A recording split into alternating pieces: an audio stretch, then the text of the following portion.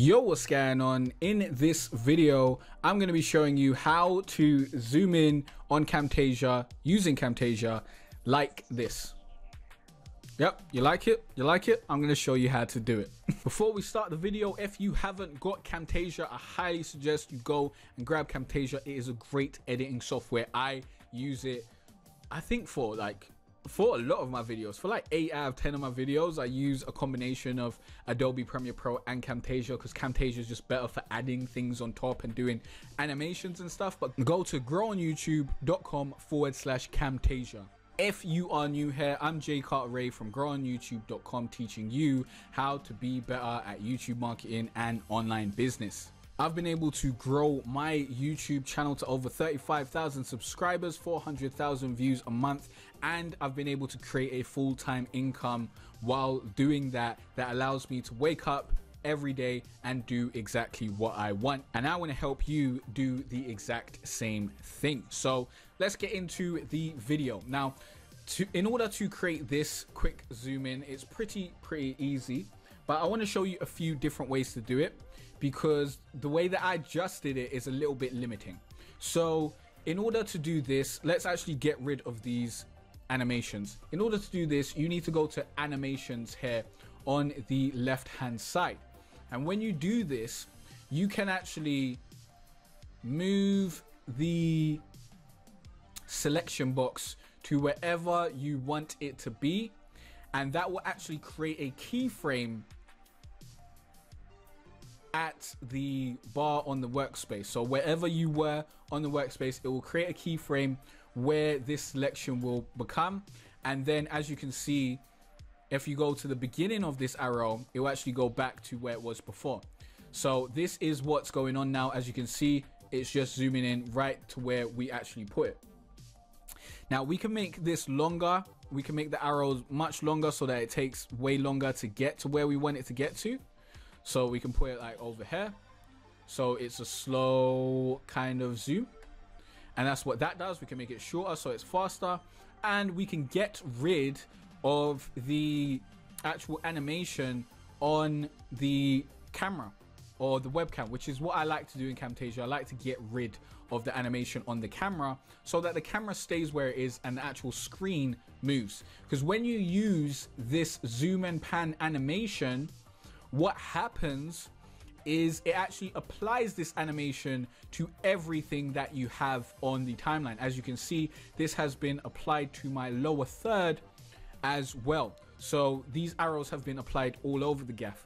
If you do not want this to happen and you only want this animation to be on one specific piece of footage and you don't want to have to delete it from every piece of footage like I just did, what you can do is you can go to animations you can go to custom. And then as you go to custom you've actually created a keyframe or an animation. Now at the end of this animation where this red part is is where the animation actually goes to. That that is what what actually happened throughout the animation. Beforehand is where it starts and this is the end point. So wherever the red dot is is the end point.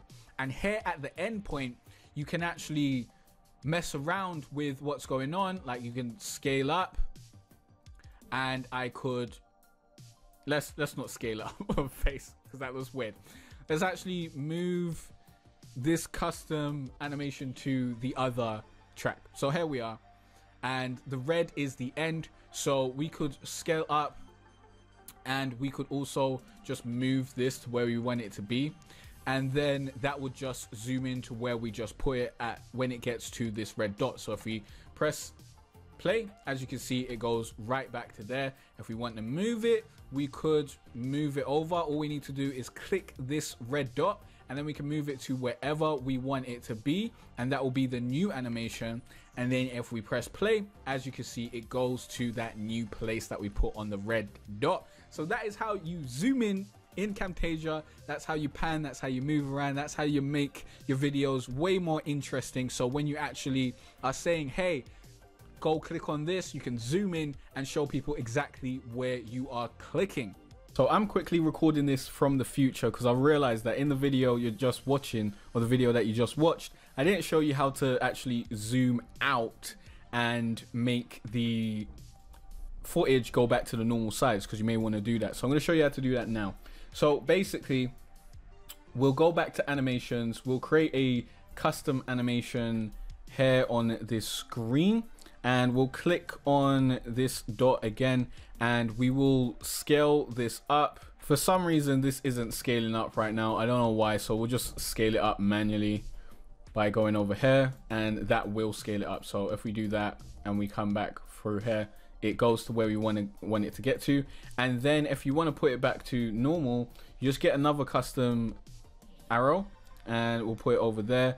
And then you just basically size this back to normal. So we'll do that and we will size it up. Camtasia does nicely click in where it should be so it's not too hard to size it back up and if you're using the pan tool the zoom and pan tool over here then it's really easy to scale it back. All you need to do after you've created your animation as you can see this has created the animation on all these layers. All you need to do afterhand is click actual size and click scale to fit. And now it just goes right back to the normal size as you can see. So that's how you zoom back out now let's get back to the past. So that is how you do it. If this video helped you out and you want to get Camtasia, please go to growonyoutube.com forward slash Camtasia. It helps out the channel. And question of the day is what editing software do you use the most to make your videos? Let me know in the comment section down below. I'll see you in the next video where I'll be teaching you more about YouTube marketing and online business. So stick around for that, subscribe, turn on notifications, all that great stuff. And I'll see you in the next one. Peace out. It's been a cold winter and it's lasted far too long. So all this warmth I share with you.